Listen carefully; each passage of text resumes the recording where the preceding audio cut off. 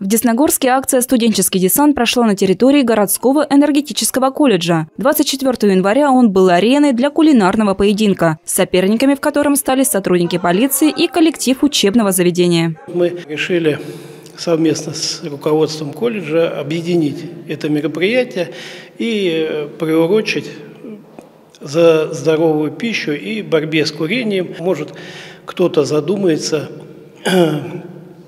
и будет, станет поваром, будет удивлять и наших горожан, а может и э, российских граждан своими кулинарными изделиями. Прежде чем приступить к выполнению главной поварской миссии, участникам представили тех, от кого будет зависеть исход поединка. В качестве дегустаторов были приглашены почетные гости Атомграда.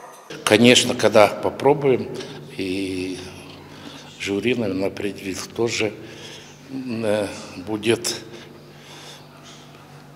приготовит вкуснее. Но очень приятно, что сотрудники полиции, подполковник, вот нарезает э, салат.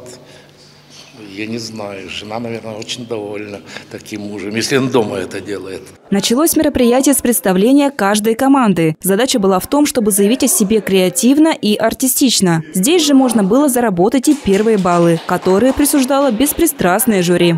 После приветствия команды отправились на кухню, чтобы приготовить салат «Цезарь». Давайте посмотрим, как они это делают.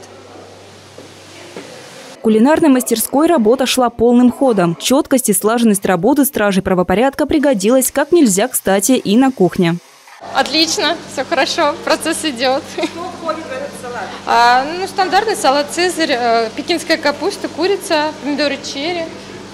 Ну и все, пожалуй, сухарики и соус полицейский поварской каждый был занят своим делом. Распределение обязанностей помогло быстро справиться с данным этапом и вовремя принести блюдо на пробу для судейской коллегии.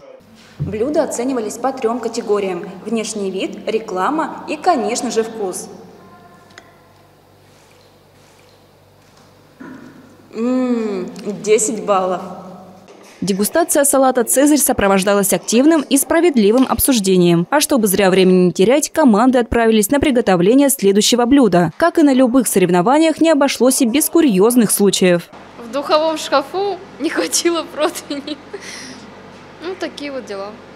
В итоге аппетитная картошка по-деревенски и запеченная курочка отправились на стол дегустационной комиссии. Выбор для жюри оказался сложным. Обе команды безупречно справились с каждым этапом. Поэтому кулинарный батл закончился успехом обеих команд. Победила дружба. В завершении мероприятия каждый участник получил почетную грамоту и заслуженные комплименты от дегустаторов. Ксения Вьюшкова, Юлия Соболева, Виталий Волков, Александр Рафеев, Десна ТВ.